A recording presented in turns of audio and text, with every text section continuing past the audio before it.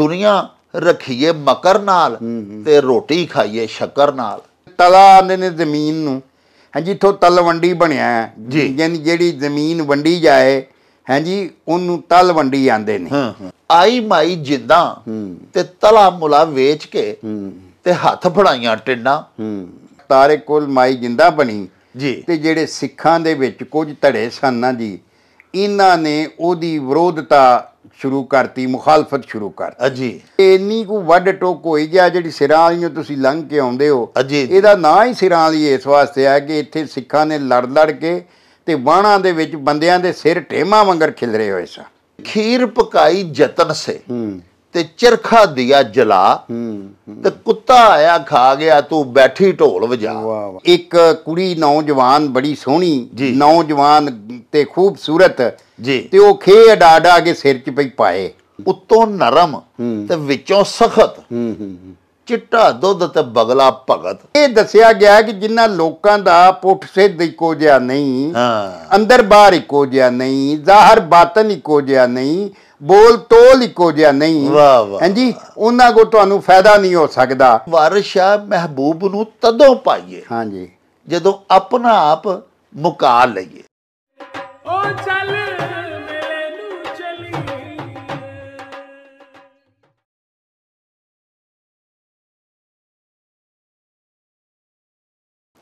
ਬਿਸਮਿਲ੍ਲਾਹਿਰਰਹਿਮਾਨਿਰਰਹੀਮ।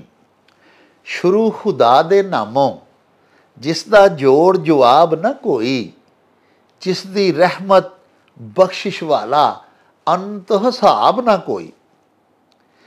ਪਿਆਰੇ ਵੇਖਣ ਵਾਲਿਓ, ਪੰਜਾਬੀ ਮਾਂ ਬੋਲੀ ਦੇ ਜ਼ੁਬਾਨੋਂ ਅਦਬ ਤੇ ਸਕਾਫਤ ਦੇ ਫਰੋਗ ਤੇ ਵਧਾਵੇ ਤੇ ਚੜ੍ਹਤਲ ਲਈ ਸ਼ੁਰੂ ਕੀਤੇ ਜਾਣ ਵਾਲੇ ਤੁਹਾਡੇ ਆਪਣੇ YouTube ਚੈਨਲ ਮੇਲਾ ਟੀਵੀ ਦੇ ਉੱਤੇ ਤੁਹਾਨੂੰ ਦਿਲ ਦੀਆਂ ਡੁੰਗਿਆਈਆਂ ਤੋਂ ਸਤ ਬਿਸਮਿਲ੍ਲਾ ਤੇ ਜੀ ਆਇਆਂ ਨੂੰ ਆਖਨੇ ਆ ਪਿਆਰਿਓ, ਸਾਡੀ ਇਹ ਬੇਨਤੀ ਏ ਵੀ ਸਾਡੇ ਇਸ ਚੈਨਲ ਨੂੰ ਸਬਸਕ੍ਰਾਈਬ ਵੀ ਕਰ ਲਵੋ।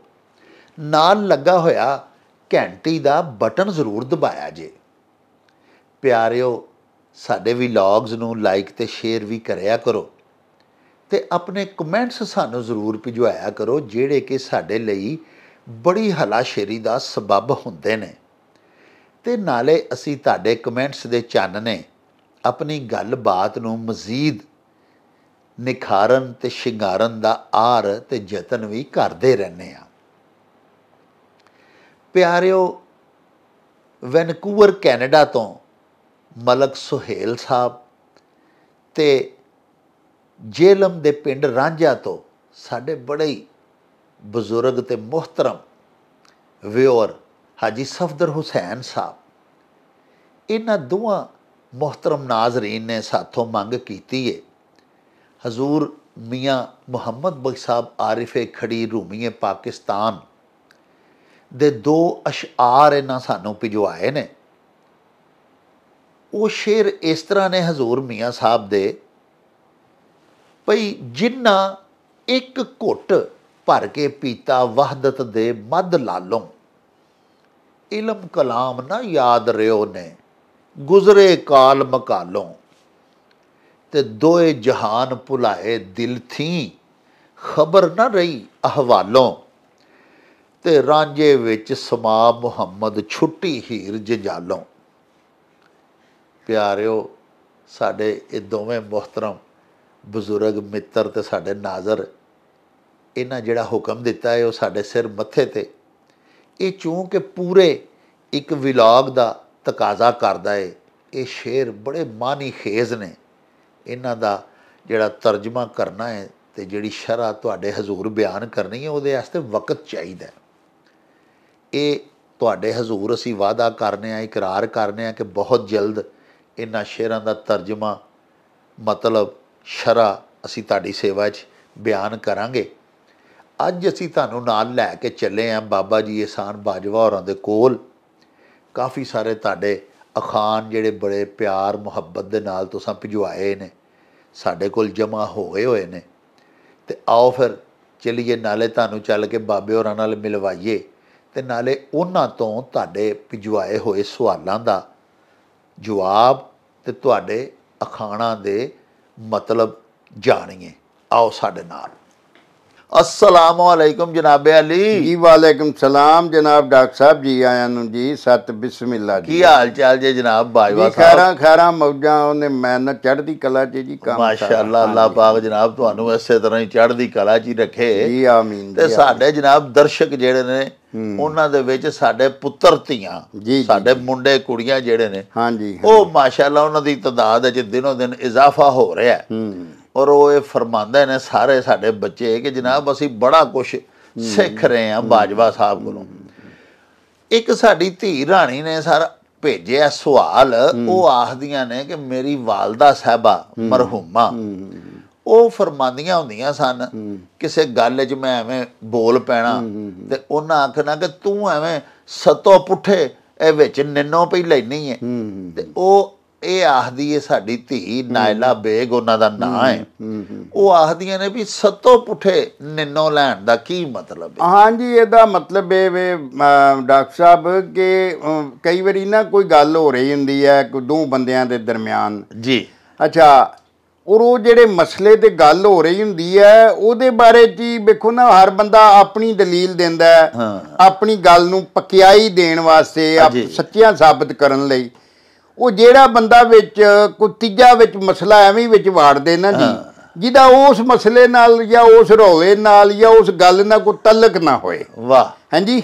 ਉਹਨੂੰ ਆਖਦੇ ਨੇ ਕਿ ਤੂੰ ਐਵੇਂ ਸੱਤੋ ਪੁੱਠਾ ਮਤਲਬ ਵਿੱਚ ਆਣ ਵੜਿਆ ਜਾਂ। ਨਿੰਨੋ ਪਿਆ ਲੈਣਾ। ਨਿੰਨੋ ਲੈਣਾ ਦਾ ਮਤਲਬ ਹੁੰਦਾ ਹੈ ਬਲਾ ਵਜਾਈ ਉਹਨੂੰ ਵਿੱਚ ਖਰੀਦਣਾ ਕੁੱਦਣਾ। ਕੁੱਦਣਾ ਖਰੀਦਣਾ ਗੱਲ ਨੂੰ ਤੇ ਐਵੇਂ ਜਾ ਵੜਨਾ ਜੀ। ਤੇ ਇਹ ਮਤਲਬ ਇਹ ਕਿ ਮਤਲਬ ਇਹ ਹੈ ਕਿ ਉਹਦੇ to participate in undesiring dispute ਵਾਹ। ਹਾਂਜੀ ਇੱਕ ਐਵੇਂ ਹੀ ਇੱਕ ਜਿਹੜਾ ਤੁਹਾਡੇ ਨਾਲ ਤਲਕ ਹੀ ਨਹੀਂ ਉਹਦੇ ਝਗੜੇ 'ਚ ਤੁਹਾਂ ਜਾ ਵੜਨਾ ਹੈ, ਉਹਨੂੰ ਸੱਤੋ ਪੁੱਠਾ ਆਂਦੇ। ਵਾਹ। ਲੋ ਜੀ ਸਾਡੀ ਧੀ ਰਾਣੀ ਨੂੰ ਮੇਰਾ ਖਿਆਲ ਹੈ ਬਾਬਾ ਜੀ ਨੇ ਜਿਹੜੀ ਗੱਲ ਕੀਤੀ ਹੈ ਬੜੀ ਸੋਹਣੀ ਸਮਝ ਆ ਗਈ ਹੋਣੀ ਹੈ। ਯਾਨੀ ਕਿਸੇ ਹੋਰਾਂ ਦੇ ਦੋ ਬੰਦਿਆਂ ਦਾ ਕੋਈ ਤਨਾਜ਼ਾ ਹੈ ਤੇ ਤੁਸੀਂ ਉਹਦੇ ਵਿੱਚ ਸਾਨੂੰ ਹਿੱਸਾ ਨਹੀਂ ਪਾਉਣਾ ਚਾਹੀਦਾ ਸਾਨੂੰ ਵਿੱਚ ਐਵੇਂ ਜਾ ਕੇ ਤੇ ਨਿੰਨੋ ਨਹੀਂ ਲੈਣੀ ਚਾਹੀਦੀ। ਬਾਈਵਾ ਸਾਹਿਬ ਮੁਹੰਮਦ ਸ਼ਬੀਰ ਗੌਰੀ ਸਾਡੇ ਦਰਸ਼ਕ ਨੇ ਜੀ ਚੱਕ ਲਾਲਾ ਰਾਵਲ ਪਿੰਡੀ ਤੋਂ। ਜੀ ਜੀ ਜੀ। ਉਹਨਾਂ ਜਨਾਬ ਇੱਕ ਅਖਾਣ ਭਿਜਵਾਇਆ ਹੈ। ਹਾਂਜੀ ਹਾਂਜੀ। ਉਹ ਇਸ ਤਰ੍ਹਾਂ ਭਈ ਦੁਨੀਆ ਰੱਖੀਏ ਮਕਰ ਨਾਲ ਤੇ ਰੋਟੀ ਖਾਈਏ ਸ਼ੱਕਰ ਨਾਲ। ਇਹਦਾ ਮਤਲਬ ਇਹ ਵੇ ਕਿ ਜਿਸ ਤਰ੍ਹਾਂ ਕੁਰਾਨ ਦੀ ਆਇਤ ਵੀ ਹੈ ਕਿ ਜਿਨੇ ਆਪਣੇ ਭੇਤ ਨੂੰ ਸੰਭਾਲ ਲਿਆ। ਉਹ ਪੱਕੀ ਗੱਲ ਹੈ ਮੰਜ਼ਲ ਤੇ ਪਹੁੰਚ ਗਿਆ। ਵਾਹ ਵਾਹ। ਵਾਰਿਸ ਨੇ ਲਿਖਿਆ ਵਾਰਿਸ ਨਾ ਭੇਤ ਸੰਦੂਕ ਖੁੱਲੇ ਭਾਵੇਂ ਜਾਨ ਦਾ ਜੰਦਰਾ ਟੁੱਟ ਟੁੱਟ ਜਾਏ ਜਾਵੇ ਵਾਹ। ਤੋ ਹਰ ਬੰਦੇ ਨੂੰ ਜਿਹੜੇ ਆਪਣੇ ਭੇਤ ਹੁੰਦੇ ਨੇ ਨਾ ਜੀ। ਵੇਖੋ ਨਾ ਆਂਦੇ ਨੇ ਦਹੀਂ ਸਰ ਘਰ ਦੇ ਭੇਤੋਂ ਮਾਰਿਆ ਗਿਆ ਸੀ। ਹਾਂ। ਇਹ ਆਪਣੇ ਭੇਤ ਜਿਹੜੇ ਹੁੰਦੇ ਨੇ ਨਾ ਕੁਝ ਐਸੇ ਭੇਤ ਹੁੰਦੇ ਨੇ ਜਿਹੜੇ ਸਾਰੇ ਜਹਾਨ ਤੋਂ ਲੁਕਾ ਕੇ ਰੱਖਣਾ ਅਜੀ ਰੱਖਣੇ ਪੈਂਦਾ। ਹਾਂਜੀ? ਉਹ ਜਿਹੜਾ ਨਾ ਉਹ ਜਿਹੜਾ ਭੇਤ ਹੈ ਨਾ ਉਹਨੂੰ ਉਹ ਅਗਰ ਤੁਹਾਨੂੰ ਉਹਦੇ ਬਾਰੇ ਪੁੱਛਦਾ ਹੈ ਤਾਂ ਉੱਥੇ ਕੋਈ ਮਕਰ ਵੀ ਕਰ ਲਓ ਕੋਈ ਝੂਠ ਵੀ ਬੋਲ ਲਓ। ਹਾਂਜੀ ਉਹ ਨਾ ਉਹਨੂੰ ਦੱਸੋ। ਕਿਉਂਕਿ ਜਦੋਂ ਤੁਸੀਂ ਦੱਸ ਲੋਗੇ ਤੇ ਜਦੋਂ ਤੁਸੀਂ ਭੇਤ ਦੱਸ ਲਿਆ ਤੇ ਤੁਹਾਡੀ ਕਮਜ਼ੋਰੀ ਬਣ ਗਈ। ਵਾਹ। ਹਾਂਜੀ? ਤੇ ਅਗਰ ਤੁਸੀਂ ਇਹ ਦੱਸਣ 'ਚ ਕਾਮਯਾਬ ਹੋ ਜਾਓਗੇ ਤੇ ਫਿਰ ਤੁਸੀਂ ਸ਼ੱਕਰ ਨਾਲ ਰੋਟੀਆਂ ਪਕਾਓਗੇ ਫਿਰ ਤੁਹਾਨੂੰ ਮੌਜਾਂ ਹੀ ਮੌਜਾਂ ਨੇ। ਵਾਹ। ਫਿਰ ਤੁਹਾਨੂੰ ਕੋਈ ਪਰੇਸ਼ਾਨੀ ਨਹੀਂ। ਔਰ ਇਹਦਾ ਹੁਕਮ ਕੁਰਾਨ 'ਚ ਵੀ ਅਸਾਂ ਦੱਸਿਆ। ਕਿ ਜਿਨੇ ਆਪਣੇ ਭੇਤ ਦੀ ਸਾਂਭ ਸੰਭਾਲ ਕਰ ਲਈ। ਉਹ ਪੱਕੀ ਬਾਤ ਤੇ ਮੰਜ਼ਲ ਤੇ ਪਹੁੰਚ ਗਿਆ। ਵਾਹ ਵਾਹ ਹਾਂਜੀ? ਤੋਂ ਹਰ ਗੱਲ ਹਰ ਵੇਲੇ ਸਾਰਿਆਂ ਤੇ ਦੱਸਣ ਵਾਲੀ ਨਹੀਂ ਹੁੰਦੀ। ਨਹੀਂ ਹੁੰਦੀ ਜੀ। ਇਸ ਵਾਸਤੇ ਮਤਲਬ ਇਹ ਕਿਸੇ ਮੌਕੇ ਆਗੋ ਪੁੱਛੇ ਵੀ ਤੇ ਉਹਨੂੰ ਕੁਝ ਹੋਰ ਦੀ ਗੱਲ ਹੋਰ ਦੱਸਣੀ ਪੈਂਦੀ ਹੈ। ਦੱਸਣੀ ਪੈਂਦੀ ਹੈ। ਹਾਂਜੀ? ਹਾਂਜੀ ਫਿਰ ਇਸ ਵਾਸਤੇ ਵੀ ਕੁਝ ਚੀਜ਼ਾਂ ਵੇਖੋ ਨਾ ਕਈ ਵਾਰੀ ਆਂਦੇ ਨੇ ਵੀ ਕਿਸੇ ਦੂੰ ਦੇ ਰੁੱਸਿਆਂ ਦੇ ਵਿੱਚ ਸੁਲ੍ਹਾ ਕਰਾਉਣ ਲਈ ਜੇ ਝੂਠ ਵੀ ਮਾਰਨਾ ਪਏ ਤੇ ਜਾਇਜ਼ ਹੈ ਹਾਂਜੀ ਹਾਂਜੀ ਉਹਦੀ ਮਨਾਹੀ ਨਹੀਂ। ਹਾਲਾਂ ਝੂਠ ਦੇ ਬਾਰੇ ਚ ਨਬੀ ਪਾਕ ਦਾ ਫਰਮਾਨ ਜਿਹਨੇ ਝੂਠ ਬੋਲਿਆ ਉਹਦੇ ਲਈ ਹਲਾਕਤ ਹੈ ਹਲਾਕਤ ਹੈ ਹਲਾਕਤ ਹੈ ਲੇਕਿਨ ਇਹਦੇ ਵਾਸਤੇ ਇੰਨੀ ਕੋ ਖੁੱਲ ਦੇਤੀ ਵੀ ਜੇ ਤੁਸੀਂ ਦੂ ਨਾਰਾਜ਼ ਜਾਂ ਆਪਸ ਚ ਰੁੱਸਿਆਂ ਭਰਾਵਾਂ ਦੀ ਜਾਂ ਦੋਸਤਾਂ ਦੀ ਰਸਾਈ ਕਰਾਉਣਾ ਚਾਹੁੰਦੇ ਹੋ। ਤੇ ਉਹਦੇ ਵਿੱਚ ਝੂਠ ਐਵੇਂ ਹੀ ਪਿਆ ਕੋ ਯਾਰ ਉਹ ਤੇ ਤੇਰੀਆਂ ਸਿਫਤਾਂ ਹੀ ਬੜੀਆਂ ਕਰਦਾ। ਉਹਨੂੰ ਜਾਗ ਉਹ ਭਾਵੇਂ ਹੀ ਕੱਢਦਾ ਹੋਏ। ਉਹਨੂੰ ਯਾਰ ਉਹ ਤੇ ਤੇਰਾ ਨਾਂ ਬਿਸਮਿਲ੍ਲਾ ਪੜ੍ਹ ਕੇ ਲੈਂਦਾ। ਅੱਛਾ ਉਹ ਫਿਰ ਬੰਦਾ ਥੋੜਾ ਦੇ ਦਿਲਾਂ ਚੋਂ ਕਦੂਰਤਾਂ ਤੇ ਨਫ਼ਰਤਾਂ ਕੱਢਣੀਆਂ ਕੱਢਣੀ ਭਾਵੇਂ ਉਹ ਝੂਠ ਮਾਰ ਕੇ ਕੱਢੋ ਕਤੂਰ ਨਾ ਨਿਕਲ ਗਿਆ ਨੇੜੇ ਹੋ ਜਾਣਗੇ। ਰੱਬ ਰਾਜ਼ੀ ਹੋ ਜਾਏਗਾ। ਵਾਹ। ਲੋ ਜੀ ਪਿਆਰਿਓ ਬਾਬਾ ਜੀ ਨੇ ਫਰਮਾਇਆ ਹੈ ਭਈ ਦੋਸਤ ਹੋਤਾ ਨਹੀਂ ਹਰ ਹਾਥ ਮਿਲਾਣੇ ਵਾਲਾ ਤੇ ਇਹ ਜਿਹੜਾ ਨਾ ਦੁਨੀਆ ਰੱਖੀਏ ਮਕਰ ਨਾਲ, ਇਹਦਾ ਮਤਲਬ ਇਹ ਵੇ ਕਿ ਦੁਨੀਆ ਅਕਲਮੰਦੀ ਦੇ ਨਾਲ, ਦੁਨੀਆ ਦੇ ਨਾਲ ਆਪਣਾ ਵਰਤਾਰਾ ਰੱਖੋ ਸਿਆਣਫ ਤੋਂ ਕੰਮ ਲਵੋ, ਹਾਂਜੀ? ਤੇ ਰੋਟੀ ਖਾਈਏ ਸ਼ੱਕਰ ਨਾਲ, ਤੇ ਜੇ ਤੁਸੀਂ ਅਕਲਮੰਦੀ ਦੇ ਨਾਲ ਹਯਾਤੀ ਗੁਜ਼ਾਰੋਗੇ, ਸਮਝਦਾਰ ਬਣ ਕੇ ਆਪਣੇ ਰਾਜ਼ ਜਿਵੇਂ ਬਾਬਾ ਜੀ ਫਰਮਾਇਆ ਵੀ ਨਾ ਕਿਸੇ ਨੂੰ ਦੱਸੋ, ਆਪਣੇ ਭੇਤ ਲੁਕਾ ਕੇ ਰੱਖੋ, ਹਰ ਬੰਦੇ ਨਾਲ ਕੀ ਲੋੜ ਹੈ ਆਪਣਾ ਭੇਤ ਸਾਂਝਾ ਕਰਨ ਦੀ ਤੇ ਉਹੋ ਜਿਹਾ ਫਿਰ ਜਿਹੜਾ ਬੰਦਾ ਉਹ ਕਾਮਯਾਬ ਹੋ ਜਾਂਦਾ ਉਹ ਫਿਰ ਰੋਟੀ ਸ਼ੱਕਰ ਨਾਲ ਖਾਂਦਾ ਮਤਲਬ ਖੁਸ਼ਹਾਲ ਰਹਿੰਦਾ। ਉਹ ਕਈ ਮੁਸੀਬਤਾਂ ਔਕੜਾਂ ਕਜ਼ੀਆਂ ਤੋਂ ਬਚਿਆ ਰਹਿੰਦਾ। ਬਾਈਵਾ ਸਾਹਿਬ ਮੁਖਤਾਰ ਵੜੈਚ ਸਾਹਿਬ ਨੇ। ਇਹ ਸਾਡੇ ਬੜੇ ਪਿਆਰੇ ਦਰਸ਼ਕ ਨੇ ਜੀ, ਜੀ, ਮਿੱਤਰ ਨੇ। ਉਹਨਾਂ ਖਾਨ ਇੱਕ ਭਜਵਾਇਆ ਆਖਦੇ ਨੇ ਵੀ ਇਹਦਾ ਥੋੜਾ ਜਿਹਾ ਪਿਛੋਕੜ ਵੀ ਦੱਸੋ। ਉਹ ਇਹ ਵੇ ਜੀ ਕਿ ਆਈ ਮਾਈ ਜਿੰਦਾਂ ਤੇ ਤਲਾ ਮੁਲਾ ਵੇਚ ਕੇ ਤੇ ਹੱਥ ਫੜਾਈਆਂ ਟਿੰਡਾਂ। ਹੂੰ।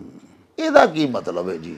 ਇਹਦਾ ਮਕਸਦ ਇਹ ਵੇ ਕਿ ਮਾਈ ਜਿੰਦਾਂ ਜਿਹੜੀ ਹੈ ਮਹਾਰਾਜਾ ਰਣਜੀਤ ਸਿੰਘ ਦੀ ਬੀਵੀ ਸੀ ਬੜੀ ਪਿਆਰੀ ਸਭ ਤੋਂ ਜ਼ਿਆਦਾ ਔਰ ਦੇਸ਼ ਪੰਜਾਬ ਦੀ ਹੁਕਮਰਾਨ ਰਹੀ। ਪੰਜਾਬ ਦੀ ਹੁਕਮਰਾਨ ਵੀ ਰਹੀ ਔਰ ਮਹਾਰਾਜਾ ਰਣਜੀਤ ਸਿੰਘ ਨੇ ਅੰਗਰੇਜ਼ਾਂ ਨੂੰ 90 ਸਾਲ ਜੀ। ਯਾਨੀ ਮਹਾ ਪੰਜਾਬੀਆਂ ਨੇ ਅੰਗਰੇਜ਼ਾਂ ਨੂੰ 90 ਸਾਲ ਪੰਜਾਬ 'ਚ ਨਹੀਂ ਵੜਨ ਦਿੱਤਾ।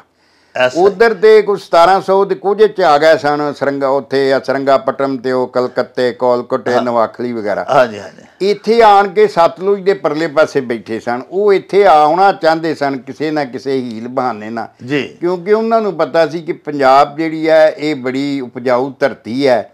ਔਰ ਸੋਨੇ ਦੀ ਚਿੜੀਆ ਹੈ ਸੋਨੇ ਦੀ ਚਿੜੀ ਹੈ ਤੇ ਇੱਥੋਂ ਦੇ ਜਿਹੜੇ ਖਜ਼ਾਨੇ ਨੇ ਫਿਰ ਉਹਨਾਂ ਆਪਣਾ ਸੌਦਾ ਵੇਚਣਾ ਸੀ।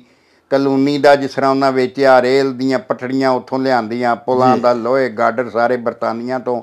ਸਾਡਾ ਖਾਮ ਮਾਲ ਖੜਦੇ ਰਹੇ ਕਪਾਵਾਂ ਛਪਾਵਾਂ ਲੱਦ ਕੇ ਬਹਿਰੀ ਜਹਾਜ਼ਾਂ ਤੇ। ਜੀ। ਤੇ ਉਹ ਕਿਹੜਾ ਉਹਨਾਂ ਨੂੰ ਪੁੱਛਣ ਵਾਲਾ ਸੀ?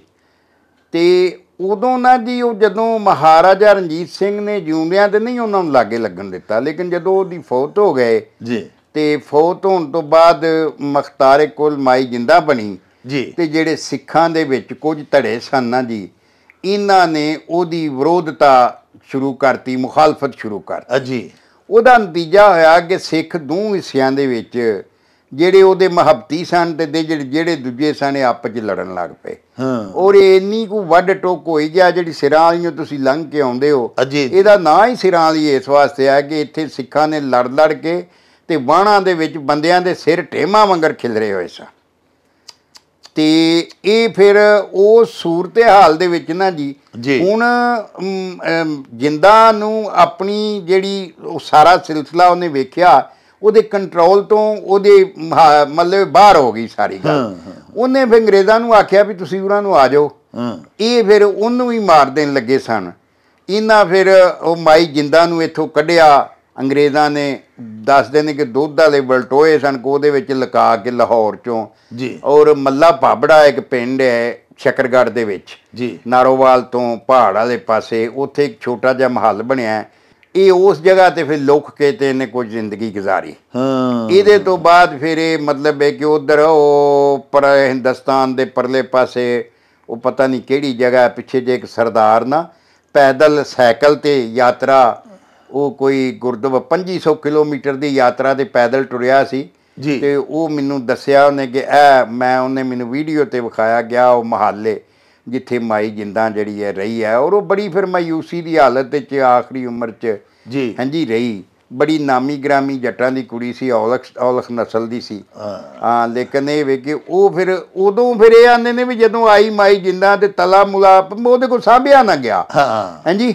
ਤੇ ਇਹ ਜਿਹੜੇ ਨੇ ਸਾਰੇ ਸਰਦਾਰ ਸਨ ਸਿੱਖ ਇਹ ਆਕੀ ਹੋ ਗਿਆ ਤੇ ਇਹਨਾਂ ਇੱਕ ਦੂਜੇ ਨੂੰ ਮਾਰਨਾ ਕੁੱਟਣਾ ਤੇ ਇਹ ਉਹ ਤੇ ਲੱਟਰ ਪੱਟ ਤੇ ਰਾਜ ਦਾ ਕੰਟਰੋਲ ਹੀ ਕੋਈ ਨਾ ਰਹਿ ਗਿਆ। ਹਾਂਜੀ। ਉਹ ਜਦੋਂ ਰਾਜ ਦਾ ਕੰਟਰੋਲ ਹੀ ਕੋਈ ਨਾ ਰਹਿ ਗਿਆ ਤੇ ਫਿਰ ਉਹੀ ਗੱਲ ਤਲਾ ਆਂਦੇ ਨੇ ਜ਼ਮੀਨ ਨੂੰ। ਹਾਂਜੀ ਇੱਥੋਂ ਤਲਵੰਡੀ ਬਣਿਆ ਹੈ। ਜੀ। ਯਾਨੀ ਜਿਹੜੀ ਜ਼ਮੀਨ ਵੰਡੀ ਜਾਏ ਹਾਂਜੀ ਉਹਨੂੰ ਤਲਵੰਡੀ ਆਂਦੇ ਨੇ। ਅੱਛਾ ਤੇ ਤਲਾ ਤੇ ਮੁਲਾ ਯਾਨੀ ਤਲੇ ਦੇ ਉੱਤੇ ਪਿਆ ਜ਼ਮੀਨ ਦੇ ਉੱਤੇ ਸਾਰਾ ਕੁਝ ਪਿਆ। ਉਹਨੂੰ ਵੇਚ ਕੇ ਤੇ ਹੱਥ ਫੜਾਈਆਂ ਟਿੰਡਾ ਟਿੰਡਾ ਹੱਥ ਫੜਾਉਣ ਦਾ ਮਤਲਬ ਹੈ ਮੰਗਣ ਵਾਲਾ ਸੰਦ ਬੰਦੇ ਦੇ ਹੱਥ 'ਚ ਫੜਾਤਾ ਕਿ ਹੁਣ ਮੰਗਦੇ ਫਿਰੋ। ਮਤਲਬ ਘਰ ਕੱਖ ਕੰਡਾ ਨਾ ਰਹਿ ਗਿਆ। ਹਾਂ ਹਾਂ। ਲਓ ਜੀ ਪਿਆਰਿਓ ਮਹਾਰਾਣੀ ਜਿੰਦ ਕੌਰ ਜਿਹਨੂੰ ਮਾਈ ਜਿੰਦਾ ਆਖਿਆ ਗਿਆ ਇਸ ਅਖਾਨ ਦੇ ਵਿੱਚ। ਮਹਾਰਾਜਾ ਰਣਜੀਤ ਸਿੰਘ ਦੀ ਬੜੀ ਲਾਡਲੀ ਬੜੀ ਲਡਿੱਕੀ ਰਾਣੀ ਸੀ। ਉਹਦੇ ਬਾਰੇ ਇਹ ਅਖਾਨ ਹੈ ਭਈ ਆਈ ਮਾਈ ਜਿੰਦਾ ਤਲਾ ਮੁਲਾ ਵੇਚ ਕੇ ਤੇ ਹੱਥ ਫੜਾਈਆਂ ਟਿੰਡਾਂ। ਬੜਾ ਸੋਹਣਾ ਨਖੇੜ ਕੇ ਸਾਰਾ। ਬਾਬਾ ਜੀ ਨੇ ਮੁਸ਼ਕਲ ਲਫ਼ਜ਼ਾਂ ਦੇ ਤਰਜਮੇ ਵੀ ਤੁਹਾਨੂੰ ਦੱਸੇ। ਆਓ ਚੱਲਨੇ ਆ ਅਗਲੇ ਅਖਾਨ ਵੱਲ। ਲੋ ਜੀ ਮੇਰੀ ਸਰਕਾਰ ਅਗਲਾ ਜਿਹੜਾ ਅਖਾਨ ਹੈ ਉਹ ਸਾਡੇ ਬੜੇ ਪਿਆਰੇ ਦੋਸਤ ਦਿਲਜੀਤ ਸਿੰਘ ਉਹਨਾਂ ਯੂ ਐਸ ਏ ਤੋਂ ਭਿਜਵਾਇਆ ਇਹ ਅਸਲ ਵਿੱਚ ਤੇ ਬਾਬਾ ਜੀ ਹਜ਼ਰਤ ਅਮੀਰ ਖੁਸਰੋ ਦਾ ਇੱਕ ਦੋੜਾ ਹੈ ਬੜਾ ਸੋਹਣਾ ਇੱਕ ਸ਼ੇਰ ਹੈ।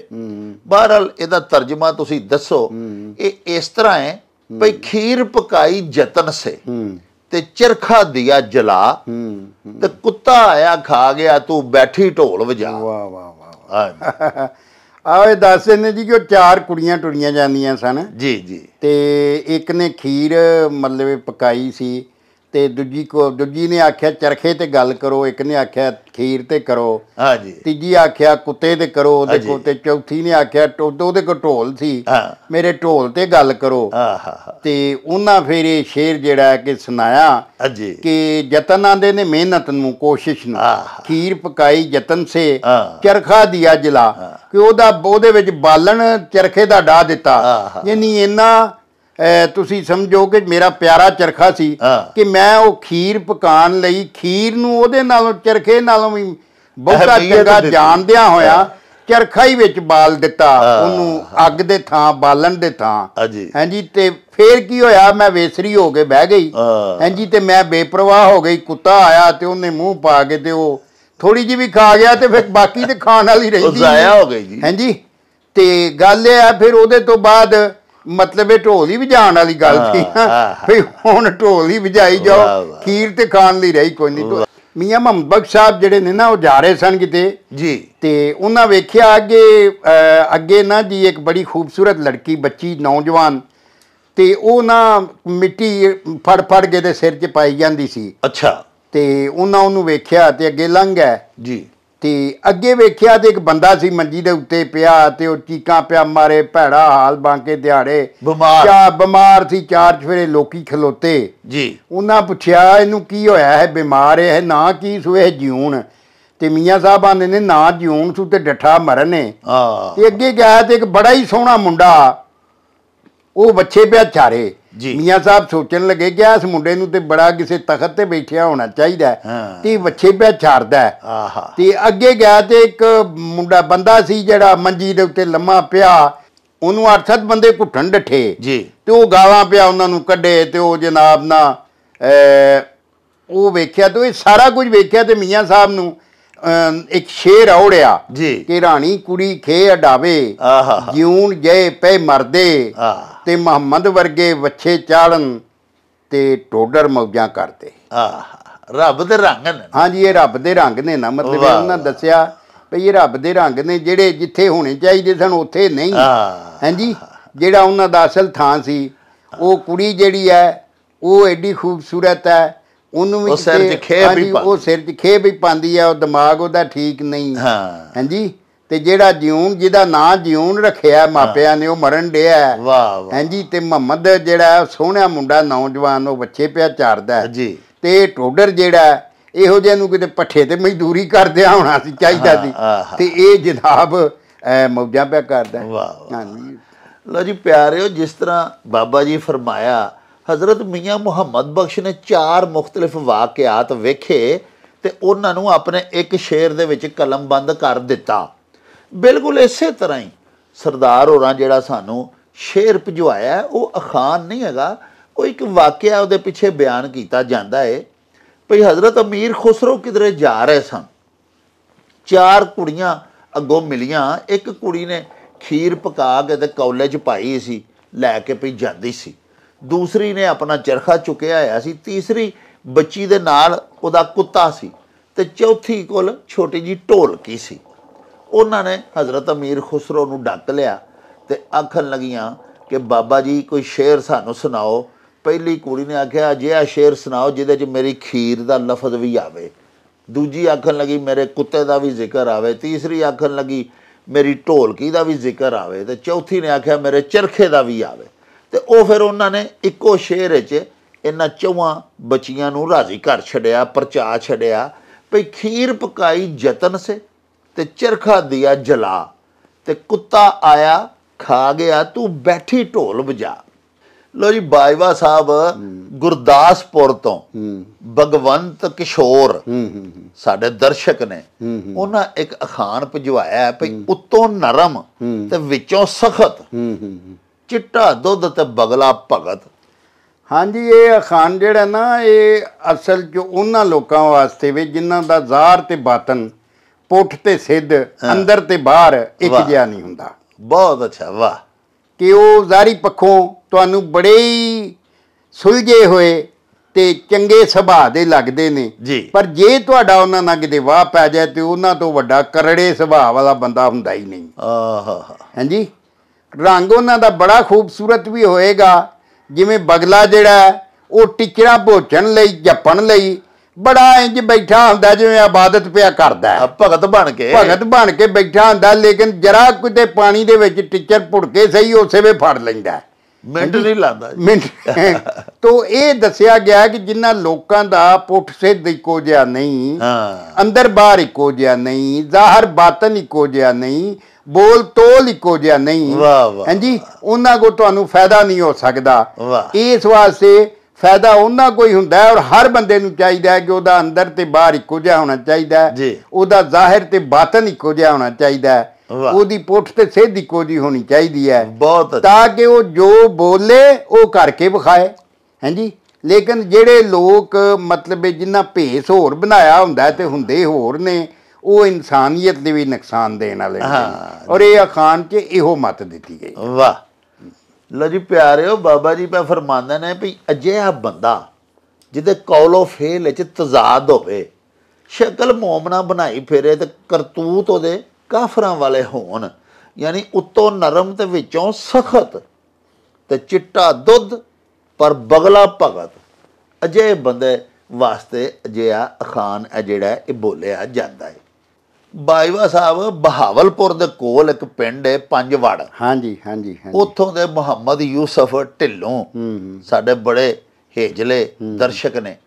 ਉਹਨਾਂ ਜਨਾਬ ਵਾਰਿਸ ਸ਼ਾਹ ਦਾ ਇੱਕ ਮਕਤਾ ਭੇਜਿਆ। ਉਹ ਇਸ ਤਰ੍ਹਾਂ ਵੀ ਵਾਰਿਸ ਸ਼ਾਹ ਮਹਿਬੂਬ ਨੂੰ ਤਦੋਂ ਪਾਈਏ ਹਾਂਜੀ। ਜਦੋਂ ਆਪਣਾ ਆਪ ਮੁਕਾ ਲਈਏ। ਹਾਂਜੀ ਇਹ ਯੂਸਫ ਢਿੱਲੋਂ ਸਾਹਿਬ ਜੀ ਸਾਡੇ ਬੜੇ ਪਿਆਰੇ ਮਿੱਤਰ ਨੇ। ਮੇਰੀ ਕਰਤਾਰਪੁਰ ਇਹਨਾਂ ਨਾਲ ਮੁਲਾਕਾਤ ਵੀ ਹੋਈ ਸੀ। ਅੱਛਾ ਅੱਛਾ। ਤੇ ਇਹ ਉਥੋਂ ਨਾ ਬਹੁਤ ਹੀ ਵੱਡਾ ਸਾਰੇ ਡੈਲੀਗੇਸ਼ਨ ਸੀ ਕੋ ਪਤਾ ਨਹੀਂ ਇੰਡੀਆ ਤੋਂ ਕੋ ਬੰਦੇ ਆਏ ਸਨ। ਜੀ। ਇਹਨਾਂ ਮਿਲਣਾ ਸੀ ਤੇ ਮੈਂ ਬਾਹਰ ਵਾਪਸ ਆਉਣ ਲੱਗਾ ਸਾਂ। ਜੀ। ਤੇ ਇਹ ਉੱਥੇ ਆ ਕੇ ਲਾਈਨ 'ਚ ਲੱਗੇ ਸਨ ਅੱਛਾ। ਇਹਨਾਂ ਫਿਰ ਮੈਨੂੰ ਵੇਖ ਕੇ ਤੇ ਬਾਬਾ ਬਾਜਵਾ ਮੈਨੂੰ ਜੱਫੀ ਪਾ ਕੇ ਮਿਲੇ। ਜੀ। ਤੇ ਮੁਲਾਕਾਤ ਹੋਈ ਲੇਕਿਨ ਇਹ ਰੋਜ਼ ਹੀ ਟੈਲੀਫੋਨ ਤੇ ਗੱਲਬਾਤ ਹੁੰਦੀ ਰਹਿੰਦੀ ਬੜੇ ਅਦਬ ਅਦਬੀ ਬੰਦੇ ਨੇ ਜੀ ਜੀ। ਔਰ ਸੋਸ਼ਲ ਮੀਡੀਆ ਨਾਲ ਵੀ ਜੁੜੇ ਰਹਿੰਦੇ ਬੜੇ ਅੱਛੇ ਬੜੇ ਸੋਹਣੇ ਬੰਦੇ। ਵਾਹ। ਤੇ ਇਹ ਵਾਰਿਸ ਸ਼ਾਹ ਮਹਿਬੂਬ ਨੂੰ ਤਦੋਂ ਪਾਈਏ ਜੀ। ਜਦੋਂ ਆਪਣਾ ਆਪ ਗਵਾਈਏ ਜੀ ਜਾਂ ਆਪਣਾ ਆਪ ਮੁਕਾਈਏ ਜੀ। ਜੀ। ਤੋ ਗੱਲ ਇਹ ਹੈ ਕਿ ਇਹਦੇ ਚ ਵਾਰਿਸ ਸ਼ਾਹ ਨੇ ਦੱਸਿਆ ਕਿ ਜਦੋਂ ਤੁਸੀਂ ਜਿਸ ਤਰ੍ਹਾਂ ਉਹਨਾਂ ਇਹ ਵੀ ਲਿਖਿਆ ਨਾ ਕਿ ਰਾਂਝੇ ਦੇ ਰਾਂਝੇ ਵਿੱਚ ਸਮਾ ਮੁਹੰਮਦ ਛੁੱਟੀ ਹੀਰ ਜੰਜਾਲੋਂ ਜੀ। ਮੀਆਂ ਸਾਹਿਬ ਨੇ। ਮੀਆਂ ਮੁਹੰਮਦ ਸਾਹਿਬ। ਤੋ ਉਹਨਾਂ ਚਿਰ ਯਾਰ ਰਾਜ਼ੀ ਨਹੀਂ ਹੁੰਦਾ ਜਿੰਨਾ ਚਿਰ ਤੁਸੀਂ ਆਪ ਫਨਾ ਨਹੀਂ ਹੋ ਜਾਂਦੇ। ਹਾਂਜੀ ਜੀ? ਇਹ ਜਦੋਂ ਤੁਸੀਂ ਫਨਾ ਹੋ ਜਾਓਗੇ ਤੇ ਆਪਣੀ ਹੋਂਦ ਨੂੰ ਮੁਕਾ ਦਿਓਗੇ। ਹਾਂਜੀ ਤੇ ਮਹਿਬੂਬ ਦੇ ਨਾਲ ਇੱਕ ਮਿਕ ਹੋ ਜਾਓਗੇ। ਜਿਵੇਂ ਫਾਰਸੀ ਦਾ ਸ਼ੇਰ ਹੈ ਕਿ ਮਨ ਤੂੰ ਸ਼ੁਦਮ ਤੂੰ ਮਨ ਸ਼ੁਦੀ ਮਨ ਤਨ ਸ਼ੁਦਮ ਤੂੰ ਜਾਂ ਸ਼ੁਦੀ ਤਾ ਕਸ ਨ ਗੋਇਤ ਬਾਦ ਅਜ਼ੀ ਮਨ ਦੀਗਰਮ ਤੂੰ ਦੀਗਰੀ ਵਾਹ ਕਿ। ਮੈਂ ਤੂੰ ਹੋ ਜਾ ਤੂੰ ਮੈਂ ਹੋ ਜਾਏ ਹੋ ਜਾਏ ਮੈਂ ਤਨ ਹੋ ਜਾ ਤੂੰ ਜਾਨ ਹੋ। ਜਾਏ। ਤਾਂ ਕਿ ਕੋਈ ਇਹ ਨਾ ਆਖੇ ਕਿ ਮੇਰੇ ਤੇ ਮੈਂ ਤੇ ਤੂੰ ਵਾਖਾਂ ਵੱਖੋ ਵੱਖ। ਹਾਂਜੀ। ਤੋ ਇਹ ਮਹਿਬੂਬ ਦੇ ਨਾਲ ਜਿਹੜਾ ਹਕੀਕੀ ਵਸਲ ਹੈ ਜਿਹੜਾ ਹਕੀਕੀ ਮਿਲਾਪ ਹੈ ਉਹ ਉਦੋਂ ਹੀ ਹੁੰਦਾ ਹੈ ਜਦੋਂ ਤੁਸੀਂ ਆਪਣਾ ਹੀ ਆਪਣੀ ਮੱਲ ਜਿਹੜੀ ਹੈ ਮੁਕਾ ਦਿਓ। ਔਰ। ਦੁਨੀਆ 'ਚ ਮੱਲ ਦਾ ਹੀ ਰੌਲਾ ਜਦੋਂ ਬੰਦੇ ਨੇ ਆਪਣੀ ਮੱਲ ਛੱਡ ਦਿੱਤੀ ਤੇ ਸ਼ਾਹ ਹੁਸੈਨ ਅੰਗਰ ਆਖਿਆ ਵੀ ਮੈਂ ਨਾ ਹੀ ਸਭ ਤੂੰ ਹਾਂਜੀ ਵਾਹ, ਤੇ। ਫਿਰ ਉਹ ਜਿਹੜਾ ਮੱਲ ਵਾਲਾ ਹੁੰਦਾ ਉਹਦੀਆਂ ਸਾਰੀਆਂ ਚੀਜ਼ਾਂ ਦਾ ਸਾਰੀਆਂ ਥੋੜਾਂ ਲੋੜਾਂ ਦਾ ਜ਼ਿੰਮੇਵਾਰ ਬਣ ਜਾਂਦਾ ਹੈ। ਹਾਂਜੀ ਤੇ ਫਿਰ ਜਿਹਦੀ ਜ਼ਿੰਮੇ ਜਿਹਦੀ ਜ਼ਿੰਮੇਵਾਰੀ ਰੱਬ ਚੁੱਕ ਲਏ ਵਾਹ ਜਿਹਦੀ ਜ਼ਿੰਮੇਵਾਰੀ ਮਹਿਬੂਬ ਚੁੱਕ ਲੈ ਉਹਦਾ। ਤੇ ਫਿਕਰ ਮੁੱਕਾ ਹਾਂਜੀ ਤਾਂ ਇਹ ਵਾਰਿਸ ਸ਼ਾਹ ਨੇ। ਕਿਹਾ ਕਿ ਐਵੇਂ ਮਹਿਬੂਬ ਮਹਿਬੂਬ ਕਰਦਿਆਂ ਰਹਿਣ ਨਾਲ ਮਹਿਬੂਬ ਨਹੀਂ ਲੱਭਦਾ ਇਹਦੇ ਵਾਸਤੇ ਆਪਣਾ ਗਾਟਾ ਜਿਉਂਦਿਆਂ ਲਵਾਣਾ ਪੈਂਦਾ ਮੌਤੋਂ ਵਾਹ। ਅੰਤੋਂ ਕਬਲੋ ਮੌਤੋਂ ਵਿੱਚ ਜਾਣਾ ਪੈਂਦਾ। ਵਾਹ ਵਾਹ ਵਾਹ। ਵਾਹ ਤੋ ਇਹ ਹੈ ਜਨਾਬ ਆਪਣਾ ਢਿੱਲੋਂ ਸਾਹਿਬ ਜਿਉਂਦੇ ਰਹੋ ਜੀ ਖੁਸ਼ ਰਹੋ ਸਲਾਮਤੀ ਹੋਵੇ ਜੀ। ਵਾਹ। ਲੋ ਜੀ ਢਿੱਲੋਂ ਸਾਹਿਬ ਬਾਬਾ ਜੀ ਨੇ ਤੁਹਾਡਾ ਤਾਰਫ ਵੀ ਬੜਾ ਸੋਹਣਾ ਕਰਵਾਇਆ ਤੁਸੀਂ ਆਪੋ ਵੀ ਸ਼- ਸੁਖਨ ਸ਼ਨਾਸ ਹੋ। ਤੇ ਬਾਬਾ ਜੀ ਨੇ ਸਾਰੀਆਂ ਤੁਹਾਨੂੰ ਗੱਲਾਂ ਬੜੀਆਂ ਨਖੇੜ ਕੇ ਸਮਝਾ ਵੀ ਦਿੱਤੀਆਂ। ਮੈਂ ਸਿਰਫ ਇੰਨਾ ਹੀ ਬਾਬਾ ਜੀ ਦੀ ਗੱਲ ਦੇ- ਨੂੰ ਅੱਗੇ ਵਧਾਉਂਦੇ ਆ ਅਰਜ਼ ਕਰਾਂਗਾ ਭਈ ਆਪਣੀ ਨਫੀ ਜਿੰਨੀ ਦੇਰ ਤੱਕ ਨਹੀਂ ਕਰਨੀ ਤੇ ਅੱਲਾਹ ਪਾਕ ਦਾ ਮੁਕੰਮਲ ਇਕਰਾਰ ਜਿਵੇਂ ਸੂਫੀਆ ਦੀ ਇੱਕ ਟਰਮ ਹੈ, ਅਸੀਂ ਆਖਨੇ ਆ ਲਾ ਇਲਾਹਾ ਇਲੱਲਾ। ਕੋਈ ਮਾਬੂਦ ਨਹੀਂ ਸਿਵਾਏ ਅੱਲਾਹ ਪਾਕ ਦੇ। ਲੇਕਿਨ ਸੂਫੀਆ ਫਰਮਾਉਂਦੇ ਨੇ ਕਿ ਲਾ ਮੌਜੂਦਾ ਇਲੱਲਾ, ਲਾ ਮਾਬੂਦਾ ਇਲੱਲਾ। ਆਪਣੀ ਮੁਕੰਮਲ ਨਫੀ ਕਰ ਦਿੰਦੇ ਨੇ, ਉਹ ਆਂਦੇ ਨੇ, ਹੋਰ ਕੋਈ ਮੌਜੂਦ ਹੀ ਨਹੀਂ। ਅੱਲਾਹ ਪਾਕ ਦਾ ਸਿਵਾ ਯਾਨੀ ਮੈਂ ਨਹੀਂ ਸਭ ਤੋਂ। ਜਿਵੇਂ ਸ਼ਾਹ ਹੁਸੈਨ ਦਾ ਬਾਬਾ ਜੀ ਨੇ ਪੜਿਆ ਇੱਕ ਸ਼ੇਰ। ਸੋ ਢਿੱਲੋਂ ਸਾਹਿਬ, ਵਾਰਿਸ ਸ਼ਾਹ ਦੇ ਇਸ ਸ਼ੇਰ ਵਿੱਚ ਵੀ ਇਹੋ ਹੀ ਆਖਿਆ ਗਿਆ ਹੈ ਕਿ ਵਾਰਿਸ ਸ਼ਾਹ ਮਹਿਬੂਬ ਮਹਿਬੂਬ, ਇਥੇ ਮਹਿਬੂਬੇ ਹਕੀਕੀ ਹੈ ਉਹ ਨਾਜ਼ਨੀਨ ਅਜ਼ਲੀ ਹੈ ਉਹ ਮੁਰਾਦ ਹੈ ਤੇ ਪੀਰ ਵਾਰਿਸ ਸ਼ਾਹ ਸੈਦ ਪੇ ਫਰਮਾਉਂਦੇ ਨੇ ਕਿ ਵਾਰਿਸ ਸ਼ਾਹ ਮਹਿਬੂਬ ਨੂੰ ਤਦੋਂ ਪਾਈਏ, ਜਦੋਂ ਆਪਣਾ ਆਪ ਗਵਾ ਲਈਏ। ਤੇ ਪਿਆਰਿਓ, ਇਹਦੇ ਨਾਲ ਹੀ ਸਾਡੇ ਇਸ ਵਿਲਾਗ ਦਾ ਵੇਲਾ ਹੁਣ ਮੁੱਕ ਗਿਆ ਹੈ ਹੁਣ ਸਾਨੂੰ ਦਿਓ ਇਜਾਜ਼ਤ। ਲੈ ਉਹ ਯਾਰ ਹਵਾਲੇ ਰੱਬ ਦੇ ਤੇ ਮੇਲੇ ਚਾਰ ਦਿਨਾਂ ਦੇ।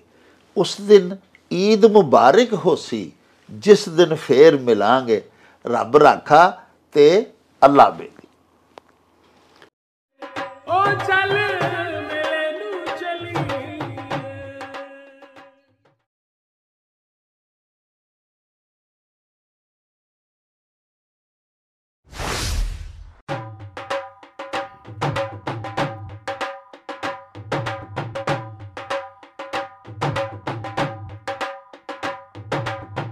ਰੌਣਕ ਹੋ